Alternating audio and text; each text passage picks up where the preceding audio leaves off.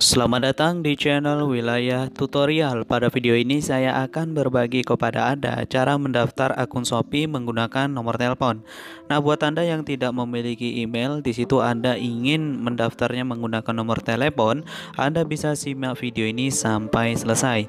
Tapi seperti biasa, sebelum lanjut jangan lupa subscribe dan tekan tombol lonceng agar Anda nggak ketinggalan dari setiap video yang akan diupload oleh channel Wilayah Tutorial. Jangan lupa juga bagikan video yang ada di channel wilayah tutorial ke sosial media yang Anda punya. Oke, kita bisa langsung ke tutorialnya. Langkah yang pertama silakan buka pada aplikasi Shopee-nya. Di sini kita buka dulu pada aplikasi Shopee dan tentu Anda download dulu ya pada aplikasi di Play Store. Kemudian selanjutnya kita bisa langsung mendaftar.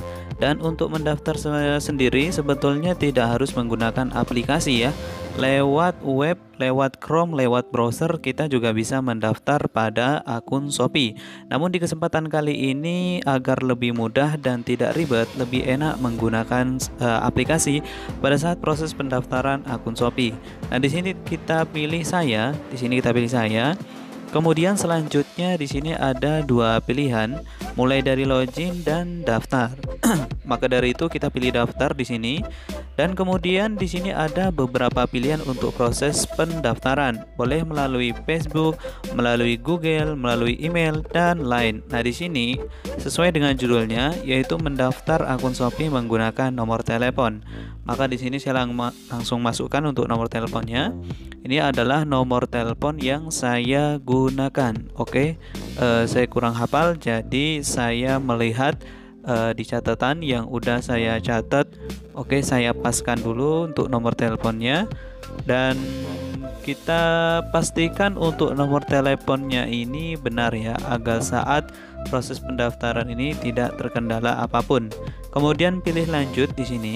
Nah, di sini kamu akan menerima kode OTP WhatsApp yang dikirimkan ke nomor ini. Maka selanjutnya di sini kita bisa langsung lanjut. Kemudian kita bisa menunggu kode OTP yang dikirimkan oleh pihak WhatsApp ke nomor yang udah kita cantumkan tadi. Dan jika Anda tidak kunjung menerima kode dari Shopee yang dikirimkan e, ke nomor kita, maka kita pilih kirim ulang. Dan kebetulan ini saya tidak menerima kode tersebut ya. Saya pilih kirim ulang di sini. Kemudian kita tunggu sampai 30 detik mulai dari sekarang ya. Kita tunggu.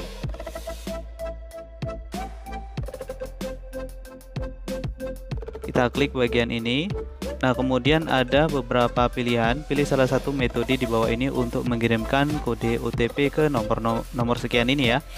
Dan kita pilih aja SMS kemudian kita bisa tunggu 30 detik dari sekarang sampai via Shopee mengirimkan.